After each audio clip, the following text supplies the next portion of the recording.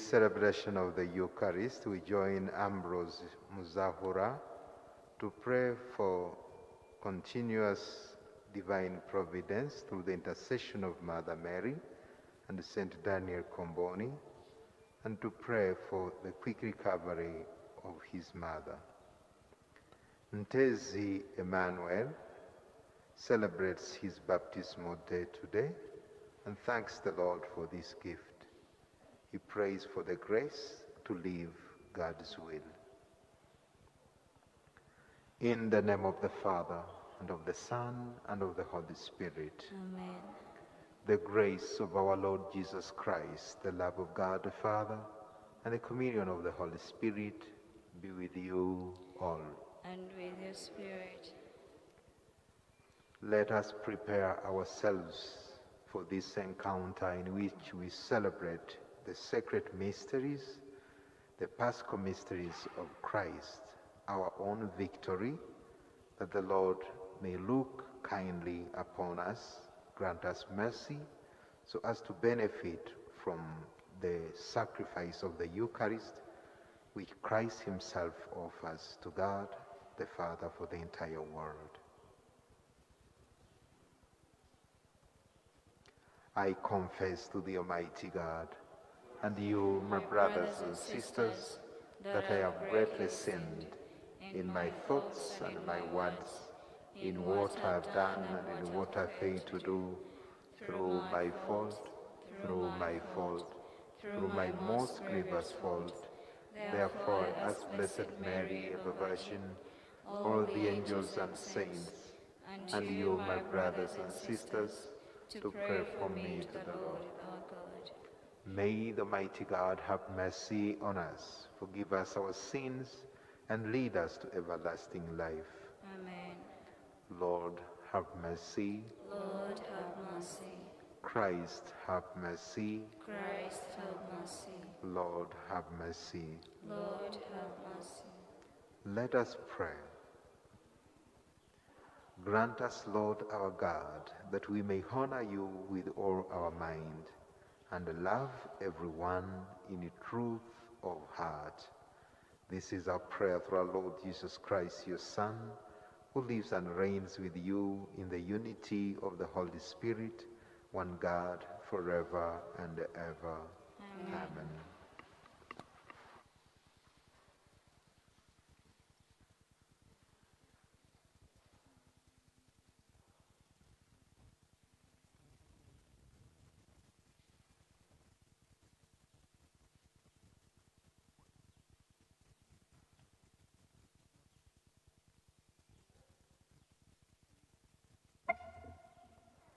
The Lord disciplines him whom he loves. A reading from the letter to the Hebrews. Brethren, in your struggle against sin, you have not yet resisted to the point of shedding your blood, and you have forgotten the exaltation which addresses you as sons. My son, do not regard lightly the discipline of the Lord, nor lose courage when you are punished by him. For the Lord disciplines him whom he loves, and chastises every son whom he receives. It is for discipline that you have to endure. God is treating you as sons. For what son is there whom his father does not discipline? For the moment, all discipline seems painful rather than pleasant. Later, it yields the peaceful fruit of righteousness to whom, to those who have been trained by it.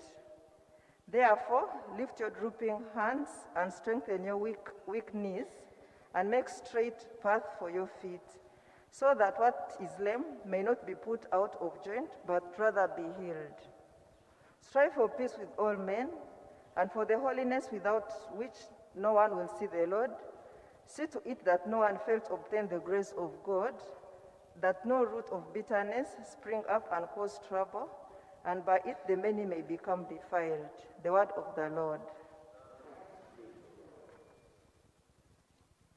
Our response is The mercy of the Lord is everlasting upon those who hold him in fear. Is everlasting upon those who call him in fear. Bless the Lord, O my soul. and all within me his holy name. Bless the Lord, O my soul, and never forget all his benefits. The mercy of the Lord is everlasting upon those who call him in fear. As a father has compassion on his children, the Lord's compassion is on those who fear him, for he knows of what we are made. He remembers that we are dust. The mercy of the Lord is everlasting upon those who call him in fear. But the mercy of the Lord is everlasting upon those who hold him in fear. Upon children's children, his justice for those who keep his covenant. The mercy of the Lord is everlasting upon those who call him in fear.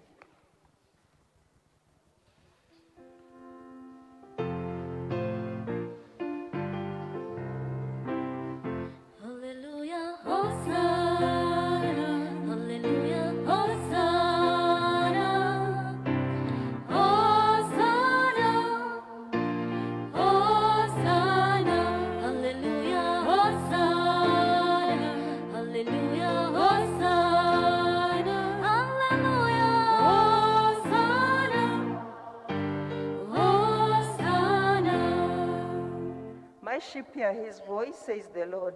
I know them and they follow me. Come, let us praise the Lord. Come, let us praise the Lord.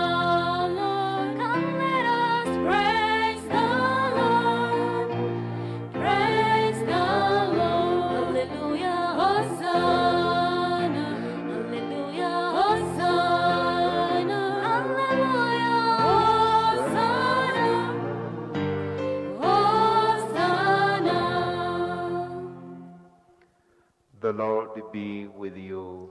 And with your spirit. A reading from the Holy Gospel according to Mark. Glory to you, O Lord.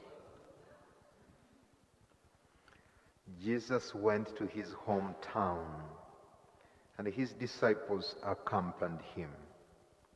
With the coming of the Sabbath, he began teaching in the synagogue, and most of them were astonished when they heard him. They said, Where did the, the man get all this?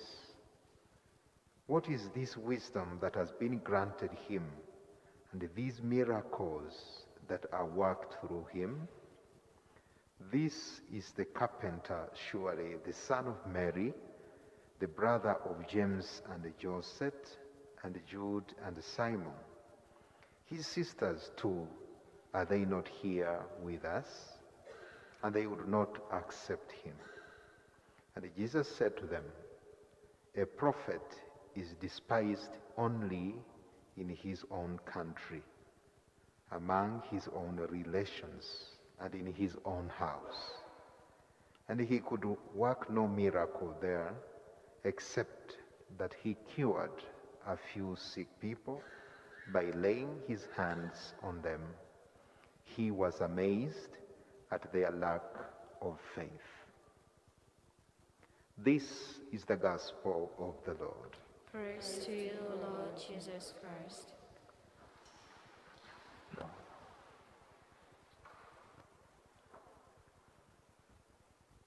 The people of Nazareth, the hometown of Jesus, find great wisdom in what Jesus said.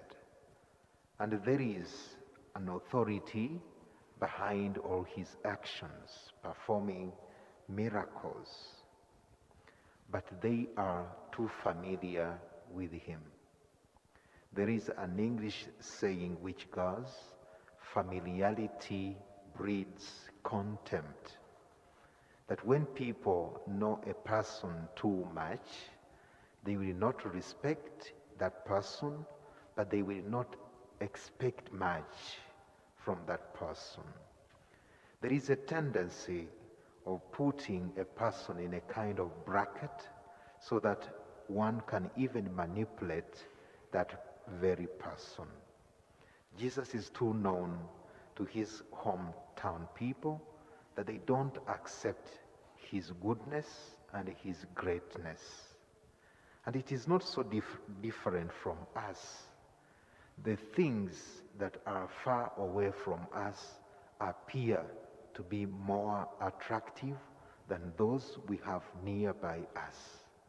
And it may be we are too used to the people we stay with that we do not expect anything new from them. Many times we take them for granted because we know who they are and above all we know even their weaknesses. So they have almost nothing to tell us. And all that is maybe that we close ourselves in our own categories, that we are not open for something new. The question for us, posed by the Word of God for us today, would be Do I appreciate the goodness in, or in the people I stay with, in my community, in my family, in my workplace? Or am I too used to them to expect anything new? And worse still, perhaps, to expect anything good. Many times we relate to one another on the basis of the biases and the prejudices we have, especially those arising from the weaknesses we have known of people. God is inviting us to keep on practicing seeing goodness in others.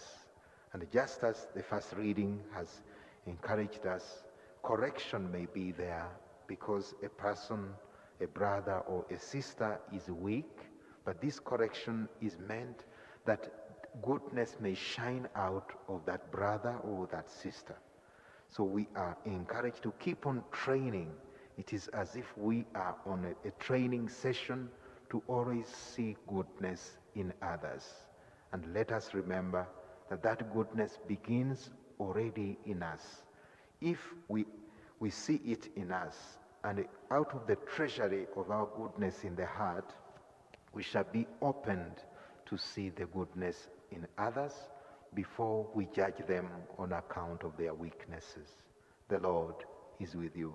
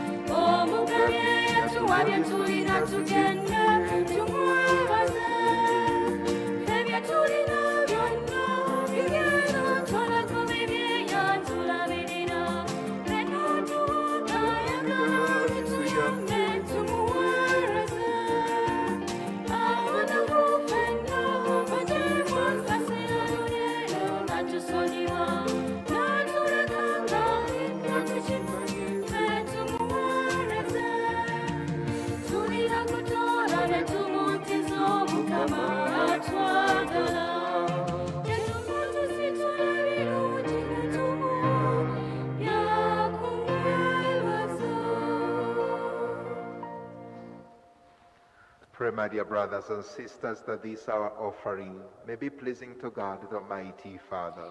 May the The Lord Lord accept accept the sacrifice at your our hands hands for for the praise and the glory of his name, for our good and the good of all his holy church. O Lord, we bring to your altar these offerings of our service. Be pleased to receive them, we pray, and transform them into the sacrament of our redemption. Through Christ our Lord. Amen. The Lord be with you. And with your spirit. Lift up your hearts. We lift them up to the Lord. Let us give thanks to the Lord our God. It's right and just. It is truly right and just our duty and our salvation, always and everywhere to give you thanks, Lord, Holy Father, Almighty and eternal God. For although you have no need of our praise, yet our thanksgiving is itself your gift. Since our praises add nothing to your greatness, but profit us for salvation through Christ the Lord. And so, in company with the choirs of angels, we praise you, and with joy we proclaim. Holy, holy, holy Lord, God of hosts, heaven and earth are full of your glory. Hosanna in the highest. Blessed is he who comes in the name of the Lord. Hosanna in the highest. You are indeed holy, O Lord, the fount of all holiness. Make holy, therefore, these gifts, we pray, by sending down your Spirit upon them like the dewfall, so that they may become for us the body and the blood of our Lord Jesus Christ. At the time he was betrayed and entered willingly into his passion, he took bread and giving thanks broke it, and he gave it his disciples, saying, Take this, all of you, and eat of it, for this is my body, which will be given up for you.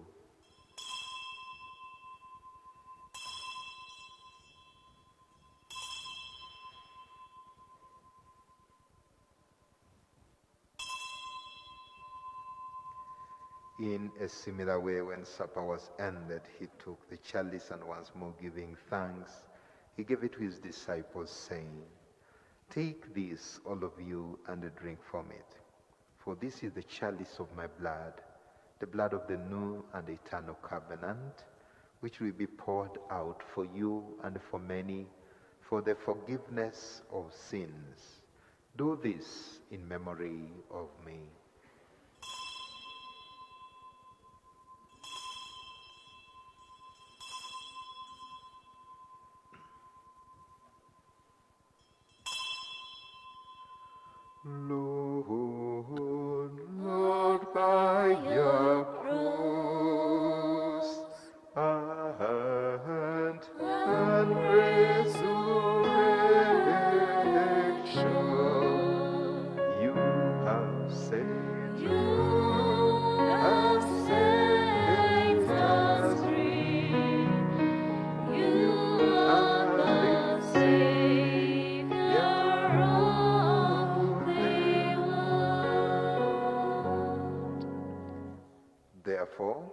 As we celebrate the memorial of his death and resurrection, we offer you, Lord, the bread of life and the chalice of salvation, giving thanks that you have held us worthy to be in your presence and minister to you.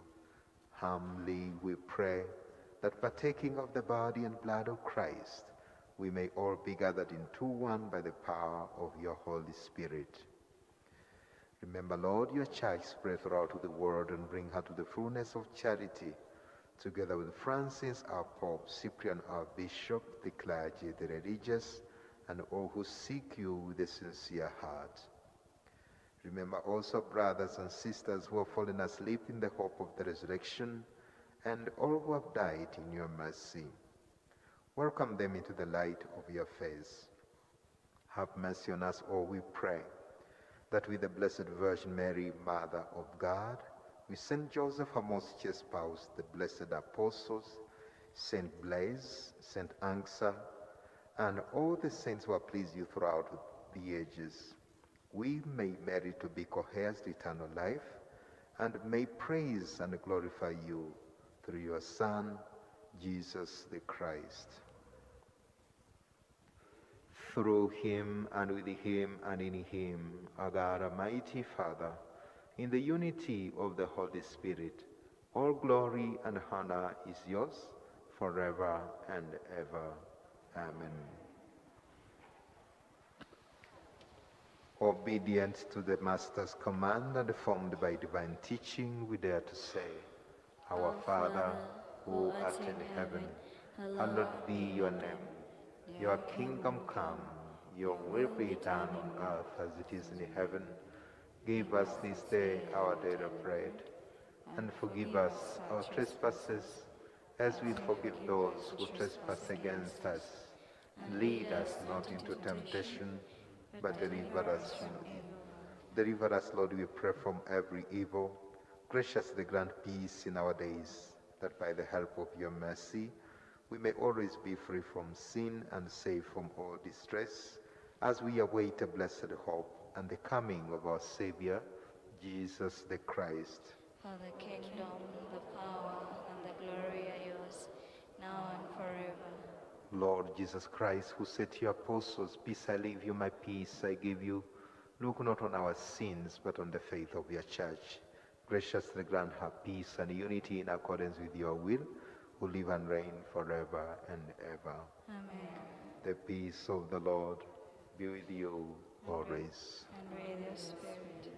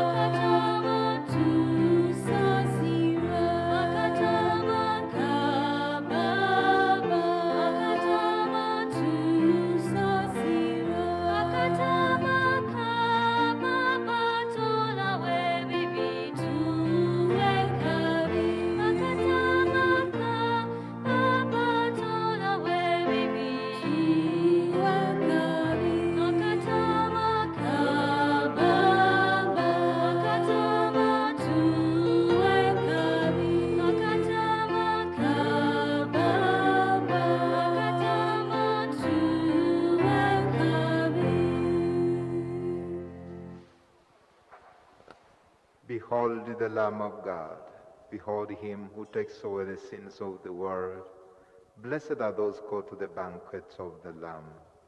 Lord, I am not worthy should enter under my roof, but only say the word, and my soul shall be healed. May the body and blood of Christ keep us safe for eternal life.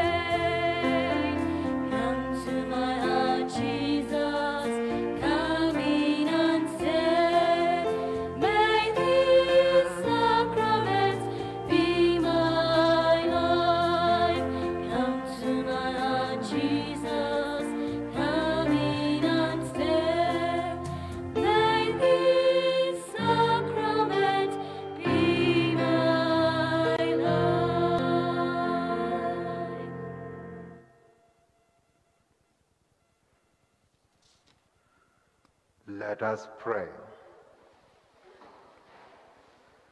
Nourished by these redeeming gifts, we pray, O Lord, that through this help to eternal salvation, true faith may ever increase through Christ our Lord. Amen.